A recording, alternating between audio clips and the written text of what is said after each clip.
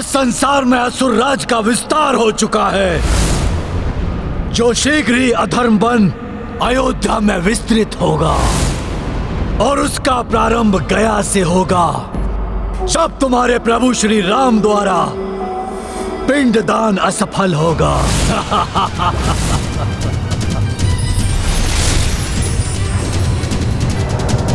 रावण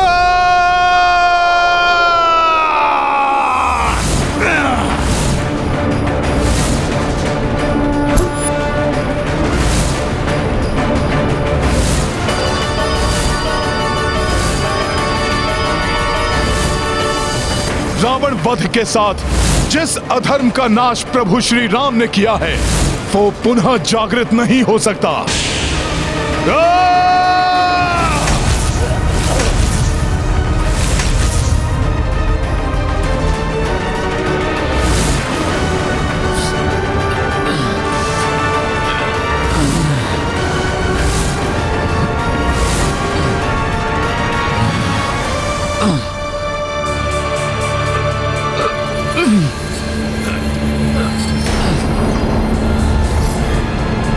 कुछ नहीं कर सकोगे तुम, मरकट। तुम दोनों ने शक्ति से, छल से दशानन रावण का तो वध कर दिया। किंतु मुझे नहीं मिटा सकोगे। क्योंकि मैं तब तक जीवित रहूँगा, जब तक लोगों की सोच में महत्वाकांक्षा काम, ईर्ष्या जीवित रहेंगे। मेरा कार्य यहाँ पूर्ण हो गया है।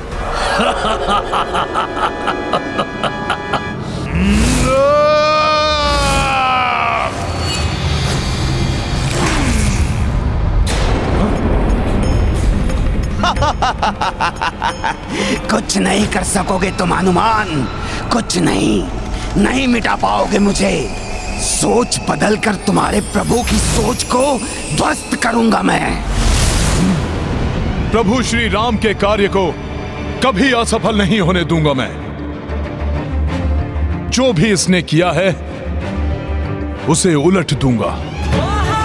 जय श्री राम!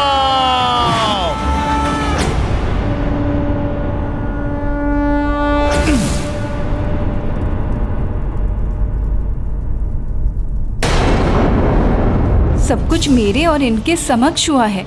फिर पुजारी जी उनके शिष्य और स्वयं गौ माता इस सत्य को क्यों स्वीकार नहीं कर रहे हैं कि हमारे पूर्वजों ने स्वयं अपने हाथों से पिंडदान स्वीकार किया है? किंतु मैंने तो ऐसा कुछ नहीं देखा। पता नहीं माता क्या कह रही हैं। माता फलगुनी आप भी तो साक्षी हैं कि आप ही के समक्ष स्वयं पूर्वजों ने अपने हाथों से पिंड स्वीकार किए हैं। आपके ही पवित्र जल में वो मुझे दिखाई दिए थे। अब आप ही अपने श्री मुख से इस सत्य को स्वीकार कीजिए।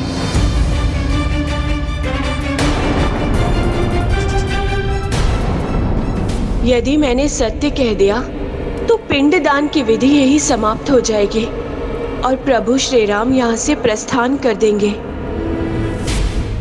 नहीं देवी आपको भ्रम हुआ है? मैंने तो ऐसा कुछ नहीं देखा। कोई नहीं रोक सकता मुझे क्योंकि मैंने अपना कार्य अपने जन्म से प्रारंभ कर दिया है। दुश्मन रहे मरकट सोच बदलता हूँ मैं सबकी।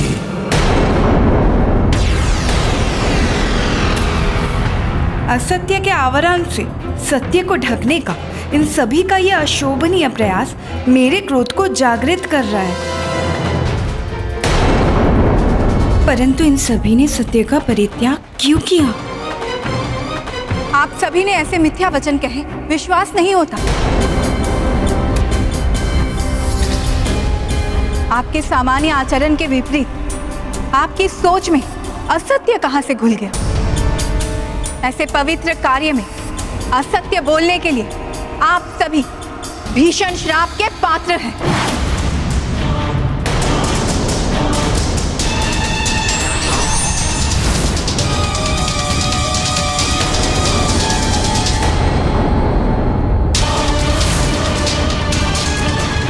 माता, आप सर्वथा उचित कह रही हैं। परंतु आपने ही अभी कहा, असत्य और मिथ्या इन सब के आचरण में नहीं था। ये सभी असुर निकुंभ की आसुरी सोच से प्रभावित हैं। वो दुष्ट सर्वत्र अपनी राक्षसी सोच का प्रचार कर रहा है, माता, जिसका ये दुष्परिणाम है। परंतु मैं चकित हूँ कि संपूर्ण जगत का मार्गदर्शन करने वाले आज इतनी सरलता से अपने ही बताए मार्ग से कैसे भटक गए।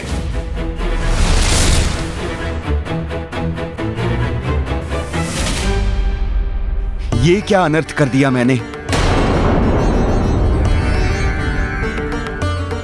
गौ माता, धर्म की प्रतीक हैं आप।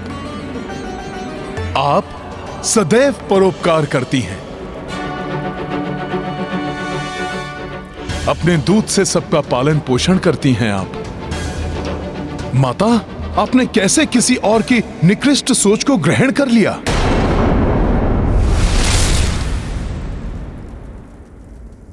कहते हैं, सरिता तो दुर्गम पर्वतों को भी काटकर, अपने जल को प्रवाहित कर, सभी को शीतलता और जल रूपी जीवन आधार प्रदान करती है।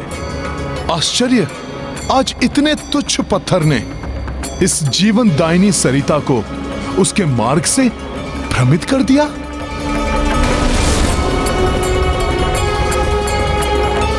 माता, मन की, तन की स्वच्छता की प्रतीक हैं आप।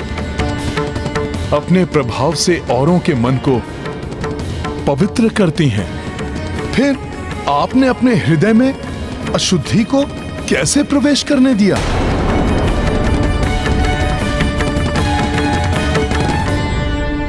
मुझे क्षमा कर दीजिए देवी सीता। ज्ञात नहीं कैसे और किसके प्रभाव में आकर मेरी मति भ्रमित हो गई। और मैंने असत्य वचन कहकर इतना बड़ा अपराध कर दिया। माता माता। राक्षसी सोच से प्रभावित होकर हमसे बहुत बड़ी भूल हो गई जिसके लिए मैं क्षमा योग्य नहीं हूँ। मेरा आपसे निवेदन है कृपया हमें कठोर से कठोर दंड दीजिए। आप सभी असत्य और अधर्म की काली सोच से प्रभावित होकर असत्य कहा। इसलिए मैं आप सबको श्राप देकर, दंडित अवश्य करूँगी परंतु हाँ आपने अपनी भूल स्वीकार कर क्षमा याचना की। इसलिए मेरा श्राप अंततः आपके उद्धार का कारण बनेगा। गौ माता भोजन के लोभ में असत्य का साथ देने के कारण मैं आपको श्राप देती हूँ कि आज से आपके मुख को अपवित्र माना जाएगा। परंतु अपने भूल को स्वीकार करने के फलस्वरूप आपके गोबर को शुद्ध माना जाएगा। जहाँ गोबर होगा, वहाँ माता लक्ष्मी का वास होगा। कोई भी पूजा आपके दूध और गोबर के द्वारा शुद्धिकरण के बिना पूर्ण नहीं होगा।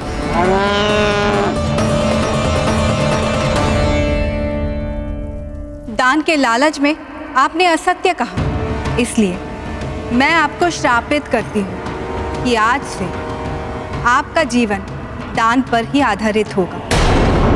परंतु ये भी सत्य है, दरिद्रो नारायण, अर्थात निर्धन को ही प्रभु श्री नारायण की सेवा करने का सर्वाधिक अवसर प्राप्त होता है, जिसके फलस्वरूप उन्हें ही नारायण मिलते हैं।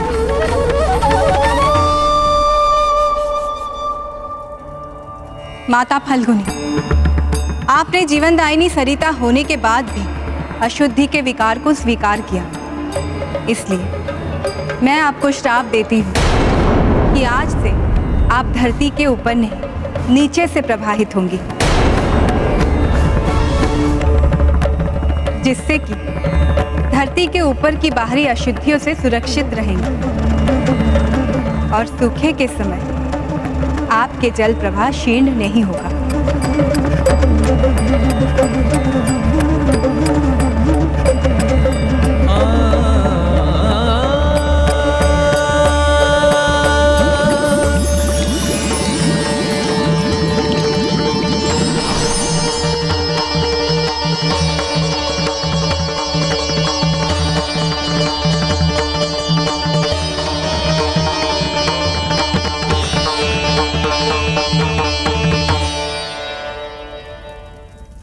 ये प्रकरण सर्वकाल के लिए एक उदाहरण के रूप में स्थापित रहेगा। कि अपने मन को सदैव बाहरी दुष्ट प्रेरणाओं से सुरक्षित रखना अति आवश्यक है। अन्यथा भले से भले मनुष्य भी पथ भ्रष्ट हो सकते हैं। पुत्र राम, सूर्यास्त होने को है। अब हमें विष्णुपात का आशीष लेकर पिंडदान विधि को संपन्न करना चाहिए।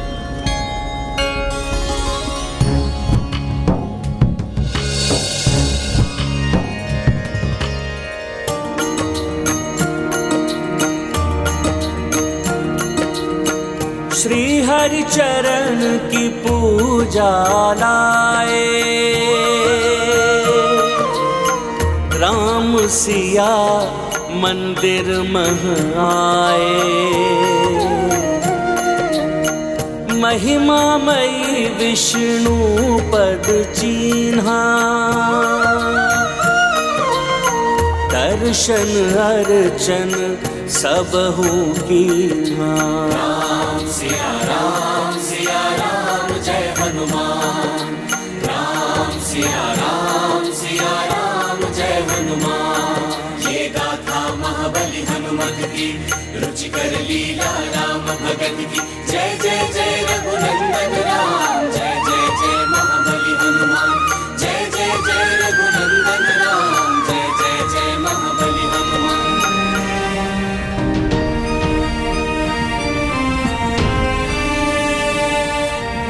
ओम नारायणाय विद्महे, विष्णुदेवाय धीमहि, तन्नो विष्णु प्रचोदयात्। ओम नारायणाय विद्महे, विष्णुदेवाय धीमहि, तन्नो विष्णु प्रचोदयात्। ओम नारायणाय विद्महे, विष्णुदेवाय धीमहि, तन्नो विष्णु प्रचोदयात्। ओम नारायणाय विद्महे, विष्णुदेवाय धीमहि, तन्नो विष्णु प्रचोदयात्। ओम नारायणाय विद्महे, विष्णुदेवाय धीमहि, तन्नो विष्णु प्रचोदयात्।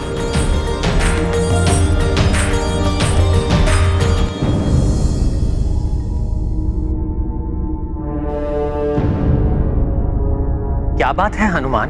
इतने विचलित क्यों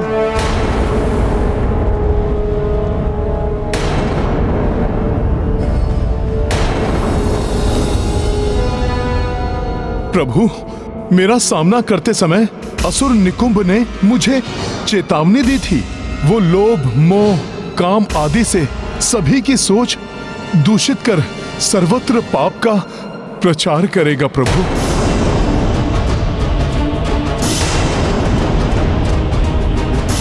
गया की इस पावन भूमि पर गौ माता और फल्गुनी माता जैसी सदा आत्माओं को अपनी सोच के दुष्प्रभाव से ग्रसित करने वाला, कहीं राम राज्य स्थापित होने के पूर्व ही अपनी कुटिल सोच से, अपनी कुत्सित सोच से इस संसार में मेघनाथ और रावण जैसे दुष्टों को पुनः उत्पन्न कर दे।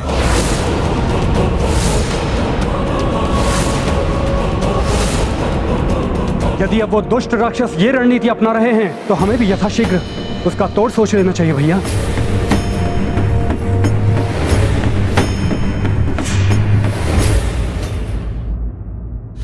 अयोध्या लौटने पर सर्वप्रथम संसार के कोने कोने से महाज्ञानी, महातपस्वी, महाऋषियों को आमंत्रित कर अयोध्या की राजसभा में इस विषय पर विचार होगा।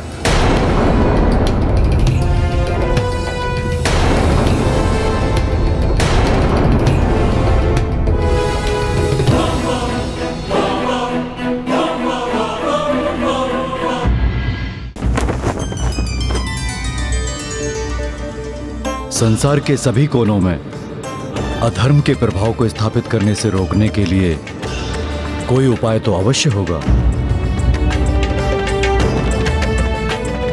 अब मात्र एक ही उपाय है।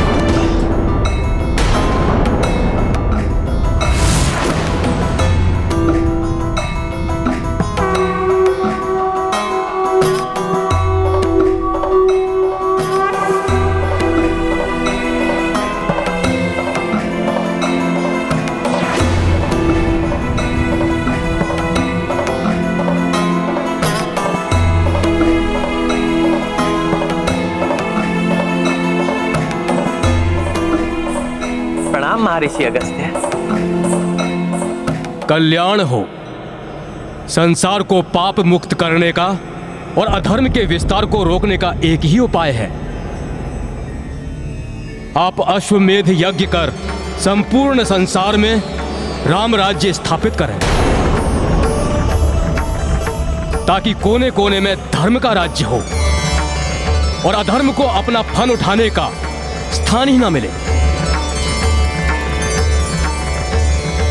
महर्षि, आपके शुभागमन से अयोध्या की ये राजसभा धन्य हुई। कृपया राज सिंहासन का ये स्थान ग्रहण कर मुझे और संपूर्ण अयोध्या को कृतार्थ करें।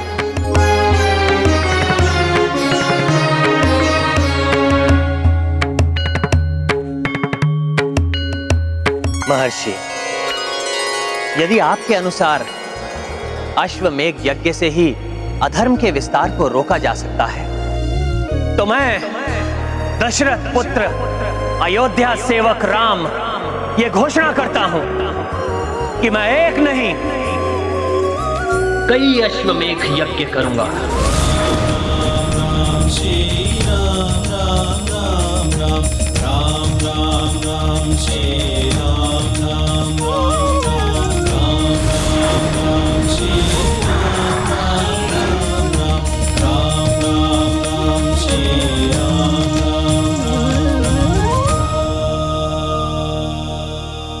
परंतु स्मरण रहे यज्ञ का मुहूर्त कल ही है। और ये यज्ञ विशेष अश्व से ही संभव है। इसीलिए यज्ञ को यथा विधि प्रारंभ करने हेतु कल प्रातः सूर्योदय के पूर्व मंगल स्नान के लिए उस अश्व का अयोध्या में उपस्थित रहना आवश्यक है।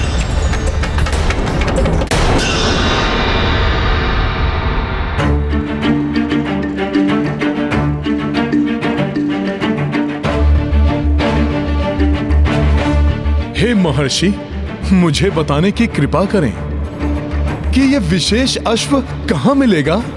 उसे यहाँ लाने का कार्य कर मुझे इस महान अश्वमेध यज्ञ के साथ राम राज्य की स्थापना में सहायक बनने का सौभाग्य प्राप्त करने की आप मुझे अनुमति दीजिए।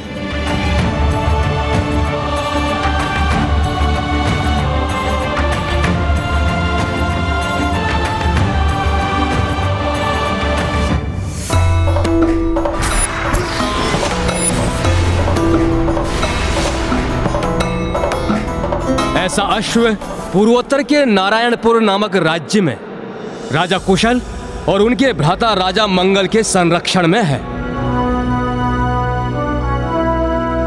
दोनों ही भ्राता बड़े धार्मिक प्रवृत्ति के हैं और दोनों ही महान प्रभु भक्त हैं। और हनुमान, तुम्हारे प्रति उनके मन में अपार श्रद्धा है।